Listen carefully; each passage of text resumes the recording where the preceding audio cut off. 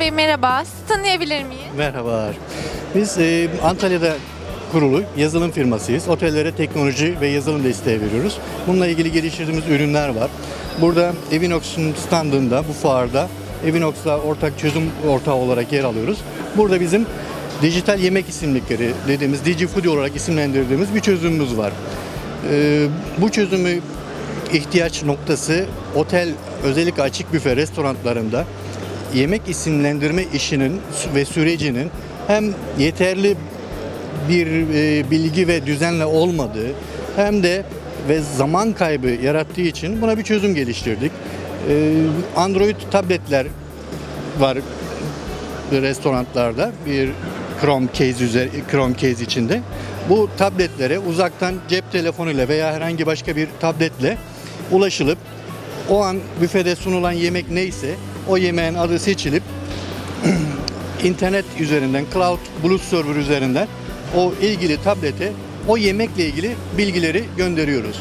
Bilgiler aslında Blue Server'da yer alıyor. Bizde şu anda sistemde 5000 tane ama hızla gelişip büyümeye devam eden bir e, database dediğimiz veri bankasında e, bilgilerimiz var. Bu bilgilerse Türk Gıda Kodeksi ki Türk Gıda Kodeksi Avrupa uyum yasaları çerçevesinde Avrupa Gıda Kodeksine e, uyumlu hale getirildi ve burada diyor ki Türk Gıda Kodeksi Yiyecekler ister paketli, isterse paketsiz açıkta sunulsun. Bunların etiketlendirme standardıyla ilgili bir standart belirledi. Bu standartlarda özellikle belirtilen allerjen 14 artı 2 allerjen maddesi veya 4 ve 4 besin değerinin bunlar işte kalori, karbonhidrat, e, yağ ve protein değerlerinin etiketin üzerinde belirtilmesi gerekiyor.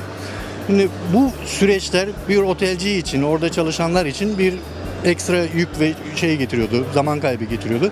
Biz bunları hazır olarak, veri olarak sunuyoruz kendilerine. İsterlerse kendi yemeklerini bize reçeteli verdiklerinde yine bu hem e, besin değerinin hesaplanması hem de içerisindeki alerjenlerin tespitini yaptıktan sonra sisteme dahil ediyoruz. Onların da yemekleri e, veri bankasına eklenmiş oluyor. Bu şekilde e, ayrıca 8 dilde tercümesini yapıyoruz. İşte Almanca, İngilizce, Rusça, e, Fransızca, Arapça ve e, Farsça.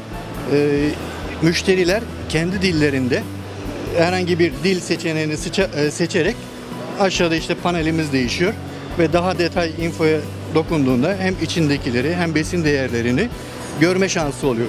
Bu sayede eğer alerjini olan bir insan e, yumurtaya alerjeni var veya gıda hassasiyeti var bunu tüketmekten kaçınabilir.